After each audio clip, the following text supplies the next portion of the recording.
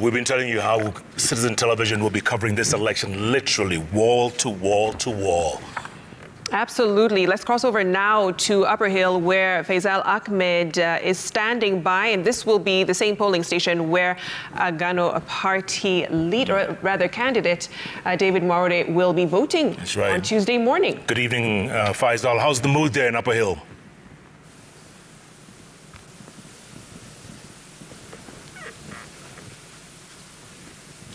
Oh, well, thank you very much, uh, Vicky and Jeff back in studio. Maybe, um, as Vicky had alluded to, the significance of us being here at this polling station is because one of the presidential candidates will be voting from here. And also, this will be the returning center for Kibra constituency, meaning that um, all the votes that will be cast for Kibra constituency will be uh, tallied and they'll be relayed here where they'll be officially announced by the returning officer. Um, the preparations are still going on. They're still doing a few checks to make sure that everything is okay before the ballot papers are distributed tomorrow to the different polling stations. And now joining me is the returning officer um, for this particular constituency. Thank you very much for speaking to us. Maybe just explain to us in a bit what's happening here, because you can see some IEBC officials are still here um, arranging papers and the ballot boxes and all that.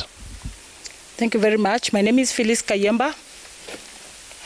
My name is Phyllis Kayemba, returning officer for Kibra constituency. I can confirm that uh, we are well to go.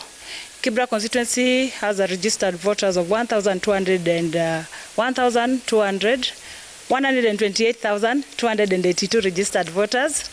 It's also comprised of five wards. I can confirm that we've received all the ballot papers for all the six elective positions. And uh, for both strategic and strategic materials have arrived, and we're set to go. So come tomorrow morning, the distribution of the ballot papers will be happening. Yes, I've invited the 59 chief agents for Kibra constituency to witness the opening of the ballot papers. Tomorrow by around 8 we shall actually uh, open our pallets and distribute all the ballot papers for 196 polling stations in Kibra constituency.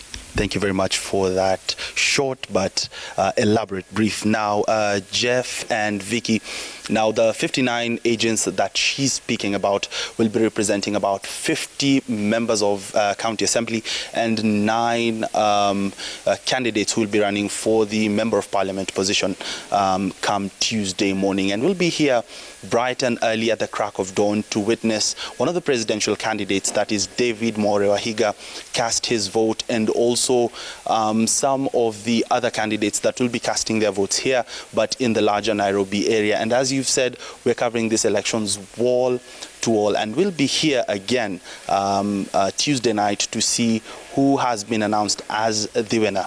Jeff, Vicky. That's right. Faisal Ahmed, thank you so much, as always. and